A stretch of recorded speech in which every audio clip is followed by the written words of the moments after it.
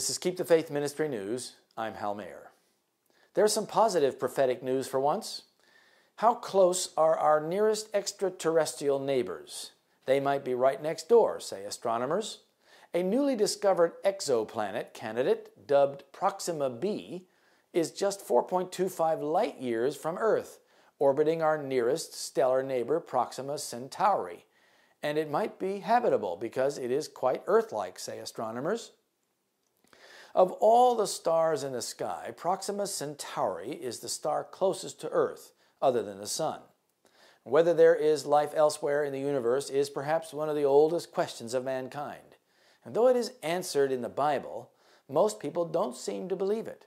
Astronomers now have some tantalizing data about Proxima b that could verify the Bible. Speaking of the leaders of other planets, the scripture says in Job 1 6, now there was a day when the sons of God came to present themselves before the Lord. Proxima b is about 1.3 times the mass of our planet and orbits its parent star within a range that would make it not too hot and not too cold for liquid water to exist on its surface. Unlike Earth, Proxima b orbits remarkably close to its host star, Proxima Centauri, only 4.4 million miles separate the two, making Proxima b more than 20 times closer to its star than Earth is to our Sun. At such a distance, Earth would be hot, hot, hot. But as a red dwarf star, Proxima Centauri is a much cooler and smaller star than our Sun. And with such a tight orbit, Proxima b takes just 11.2 days to revolve around its star. When God created other worlds, He could well have provided them with different life sustaining formulas, like a smaller star or sun, and a tighter orbit than Earth. These are the conditions of Proxima b. This means that the potentially habitable planet is practically on our cosmic doorstep, said Lisa Kaltenegger, director of the Carl Sagan Institute at Cornell University. Proxima b sits within the habitable zone of its host star, an enticing clue that it could indeed host life. But it takes a lot more than temperatures conducive to liquid water to make a planet habitable.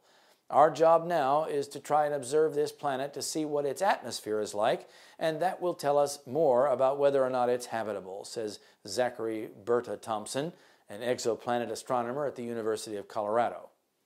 Astronomers only have a tiny glimpse of the conditions of Proxima b, and there is much that is unknown. But since astronomers now have tools by which to study planets outside our solar system, astronomers will actively study Proxima b to determine if it has an atmosphere and what its components are, among other conditions.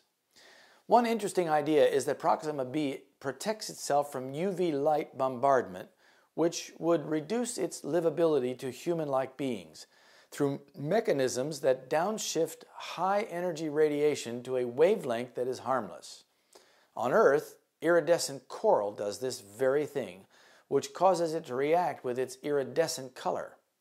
Imagine a whole planet bursting into colorful light in the galactic sky periodically as its sun hits its surface with flares. It's only too human to wonder about traveling there someday, says Dr. Charbonneau. But for now, our telescopes are our spaceships, allowing us to know the conditions on distant worlds without the benefit of a direct visit. Charbonneau says he's very excited about this discovery, but not surprised. That's because his own research suggests that one in every four red dwarf stars host an Earth sized planet in the habitable zone. Planets like Proxima b are probably pretty common, and it's not surprising to find one orbiting our nearest neighboring star. We don't know whether there's life out there in the universe, Berta Thompson says, but we're finally getting to know our stellar neighbors in the galaxy and learning really cool things about them. And although Proxima b might not check all the boxes for habitability as we know it on Earth, we may yet find an extreme form of life there. Scientists are often atheists, and when they find an amazing factoid or two, they think they have really found something special. But in reality, they have only documented in a minuscule way what God said in His ancient word about life in the universe. The Lord has given me a view of other worlds. Wings were given me, and an angel attended me from the city to a place that was bright and glorious. The grass of the place was living green, and the birds there warbled a sweet song. The inhabitants of the place were of all sizes. They were noble, majestic, and lovely. They bore the express image of Jesus, and their countenances beamed with holy joy, expressive of the freedom and happiness of the place. I asked one of them why they were so much more lovely than those on earth. The reply was, We have lived in strict obedience to the commandments of God and have not fallen by disobedience like those on earth. Then I saw two trees. One looked much like the tree of life in the city, and the fruit of both looked beautiful. But of one they could not eat. They had power to eat of both, but were forbidden to eat of one. Then my attending angel said to me, None in this place have tasted of the forbidden tree, but if they should eat, they would fall. I begged of my attending angel to let me remain in that place. I could not bear the thought of coming back to this dark world again. Then the angel said, You must go back, and if you're faithful, you with 144,000 shall have the privilege of visiting all the worlds and viewing the handiwork of God. Maranatha, page 368. This is Keep the Faith Ministry News. Thank you for watching.